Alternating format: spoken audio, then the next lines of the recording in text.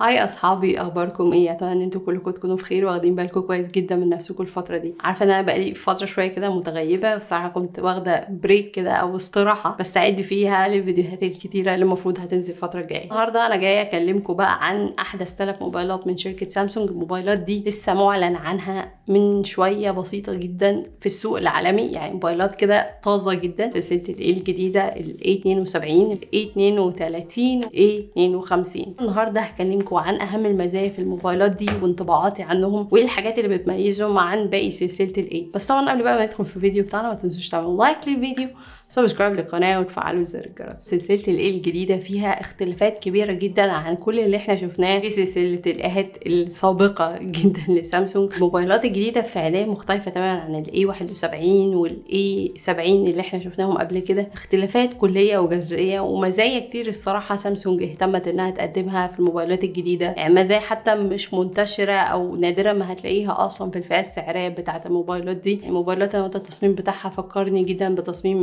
S 20 FE اللي إحنا شفناه قبل كده تصميم جامد جدا وعصري. يعني شكل الكاميرات هنا عندنا في ال 72 وال 52 هما تقريبا نفس التصميم يعني فرق الحجم. متقارب جدا من ال S 21 Ultra يعني متقارب لحد كبير يعني ولكن أكيد مش هيبقى زيه بالظبط. ال 32 هو اللي مختلف شوية الظهر بتاعه لامع. الموبايلين التانيين الظهر بتاعهم مش بيلمع. جزء الكاميرات برضو مختلف تماما في ال 32 زي ما أنتم شايفين مفيش هو بروز خالص في جزء الكاميرات. مفيش إطار مثلا عن الكاميرات زي اللي إحنا شفناه في الموبايلين التانيين. ولكن كل كاميرا لوحدها عليها البروز بتاعها أو عليها الإطار بتاعها. وده صراحة عجبني جدا في حتة وفي نفس الوقت اللي هو انت تبقى خايف قوي على الكاميرات دي. أنصحك إن انت لما تشتريه لازم تبقى جايب له جراب جامد جدا عشان تحافظ على حتة الكاميرات. التصميم زي ما قلت لكم واحد تقريبا التلات موبايلات عندنا في الجزء التحتاني مدخل الشحن USB Type-C وعندنا سماعات ال speaker. وال 72 وال 52 الصراحة بيتميزوا إن هم فيهم سماعات stereo speakers. ادائهم ممتاز جدا بالنسبة للفئه السعريه بتاعتهم. عندنا كمان مدخل headphone jack موجود في الثلاث موبايلات. ال 72 وال 52 بيدعم تشغيل خطين أو خط وكارت memory ما ينفعش تشغل خطين وكارت memory في نفس الوقت. المميز بقى هنا كمان عندنا إن ال 72 وال 52 بيجوا بحماية ضد المياه والأتربة ودي تقريبا حاجة ما شفناهاش أصلا في الفئة السعرية دي خالص. دي صراحة ميزة حلوة جدا يعني إحنا داخلين بقى على الصيف والناس بتنزل حمامات السباحة وعايزة تصور هي وأصحابها هيعجبها جدا الموضوع دوت هيبقى سهل قوي في ال 52 وال 72 كمان. ونيجي بقى للجزء الأمامي وطبعا التلات موبايلات إن هو بيجوا بشاشات Super AMOLED. ال 72 وال 52 الكاميرا هنا هو punch hole أو ثقب في الشاشة ولكن ال 32 يمكن تصميم الشاشة بتاعه من قدام تقليدي شوية عندنا drop notch كده تقليدية شوية. 72 شاشة 6.7 إنش ال 52 6.5 إنش 32 الشاشة حوالي 6.4 إنش. ثلاث شاشات الجودة بتاعتهم Full HD Plus دعموا تردد الشاشة العالي 90 هرتز. دي أول مرة حاجة سامسونج تقدمها لنا في الفئات المتوسطة بتاعتها وطبعا مع الشاشات ال AMOLED الموضوع ده جامد جدا. عندنا البصمات جوه الشاشة طبعا ال Always On Display ثلاث موبايلات هو بيجوا بنظام اندرويد 11 من العلبة أو من العلبة هتلاقي عليهم أحدث نسخة من نظام اندرويد وكمان عليهم أحدث واجهة من شركة سامسونج One UI 3.1 الموبايلات طبعا فيهم مزايا كتير من الواجهة الجديدة وعندنا المزايا الأساسية زي خاصية ال Face Unlock. عمل نسختين من تطبيقات التواصل الاجتماعي ومزايا بتاعت واجهه سامسونج زي Quick Share. الموبايلات هنا كمان بيدعموا خاصية ال NFC ودي طبعا حاجة حلوة عشان دي بتهم الناس اللي بيشحنوا كارت الكهرباء بال NFC بالنسبة للمعالج فال 72 وال 52 بيجوا بنفس المعالج ونفس المواصفات الداخلية تقريبا.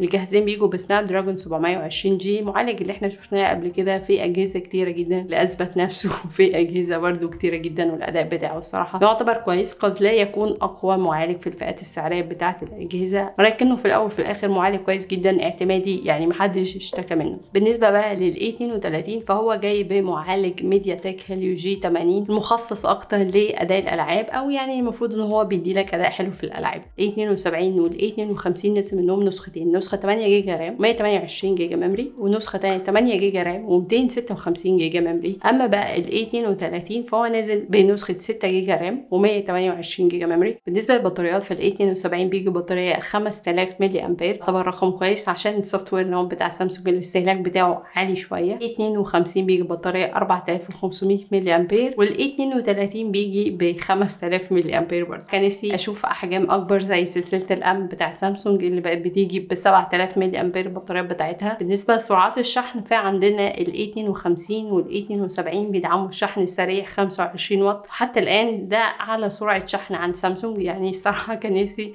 أشوف سرعات اعلى الشحن عند سامسونج زي الشركات التانية. أما بقى ال 32 فسرعة الشحن هنا هو للأسف 15 واط بس.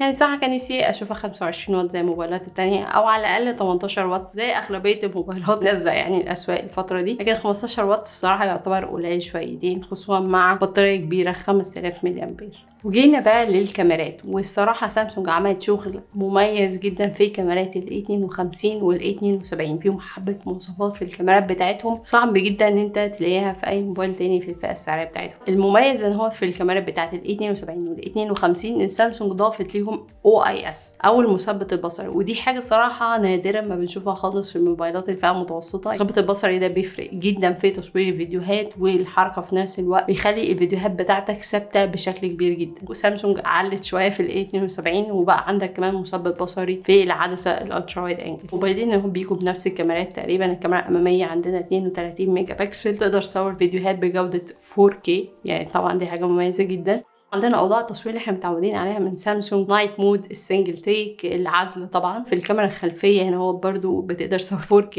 والموبايلين بيجوا بأربع كاميرات خلفية. العدسة الأساسية عندنا 64 ميجا بكسل والعدسة ال ultra wide angle عندنا 12 ميجا بكسل وعندنا عدسة عزل 5 ميجا بكسل وعدسة عشان ال macro 5 ميجا بكسل برضو. زي ما قلت لكم الخواص الكتير اللي سامسونج معودانا عليه. وعندنا خاصية برضو اسمها وضع الفن زي الفلاتر كده المنتشرة على انستجرام وتعمل أشكال مختلفة. أما بقى ال 32 30 في الكاميرا الاماميه عندنا ان هو 20 ميجا بكسل والكاميرات الخلفية عندنا ان هو العدسه الاساسيه 64 ميجا بكسل عدسة 8 ميجا بكسل ultra wide angle وعندنا عدسات العزل وال macro 5 ميجا بكسل برضه. جربت الكاميرات ثلاثة بشكل سريع كده. ثلاث كاميرات عملوا شغل حلو جدا في العزل يمكن سامسونج الوحيدة اللي ال software بتاع الكاميرات بتاعتها بيعرف ال HDR مع العزل بتاع الخلفية خصوصا في كاميرات السيلفي. يمكن دي حاجة ناقصة في أغلب الشركات. ثلاث أجهزة عموما خدوا معايا صور حلوة سواء الكاميرا الاماميه أو الكاميرا الخلفية. وطبعا زي ما قلت لكم في الفيديوهات المفصلة أو المراجعات الكاملة بتاعت كل جهاز هيبقى فيه بقى تجربة منفصلة لكل واحد فيهم بتصوير الفيديو الكاميرات الاماميه والكاميرا الخلفيه والكلام اللي أنا معوداكم إن أنا بعمله دايما في كل مراجعة لكل موبايل. طبعا الناس اللي متابعاني على فيسبوك عارفين أنا نزلت كتير قوي عن تسريبات الأسعار بتاعت الأجهزة ونزلت كتير عن تسريبات عموما والحجز المسبق كمان بتاع ال 72 وال 52 كل موبايل فيهم نازل منه نسختين ال 52 هينزل منه نسخة 8 جيجا RAM و128 جيجا memory السعر بتاعها زي ما أنتم شايفين كده. وعندنا كمان نسخة تانية اللي هي 8 جيجا RAM و256 جيجا memory برضو السعر بتاعها زي ما أنتم شايفين. بالنسبة بقى لل 72 فالسعر بتاعه أغلى شوية لأن هو طبعا يعتبر موبايل أعلى والمواصفات بتاعته أعلى شوية. نسخة 8 جيجا RAM و 128 جيجا تبقى جاية بالسعر ده. ونسخة 8 جيجا RAM و 256 جيجا memory هتبقى جاية بالسعر ده.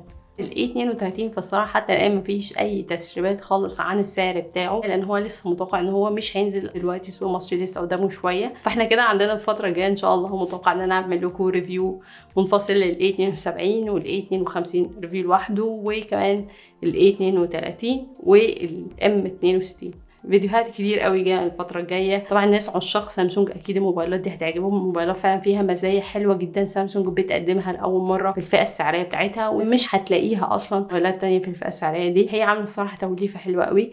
ولكن برضو أنا بنصح أي حد طبعا هو يستنى مراجعات الكاملة خصوصا لو أنت فاتك الحجز المسبق. انصحك إن أنت تستنى كده تشوف المراجعات بقى المفصلة والتجارب المفصلة للموبايلات دي عشان تقدر تحدد أو تقدر تقرر بالظبط أنت هتشتري أنهي موبايل فيهم وأنهي موبايل فيهم يناسبك أكتر. أتمنى يكون الفيديو عجبكم وما تنسوش تكتبوا لي في التعليقات رأيكم في الأجهزة إيه. طبعا لو عجبكم الفيديو ما تنسوش تعملوا like و share عشان يوصل الفيديو للناس أكتر.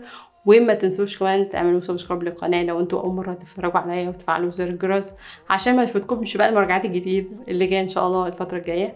أتمنى ان أنتوا تتابعوني على فيسبوك وإنستجرام لميس الحسيني وكمان تنضموا لجروب Tech Kitchen بتاعي على فيسبوك لو عندكم أي استفسارات ابعتولي هناك. يلا. bye bye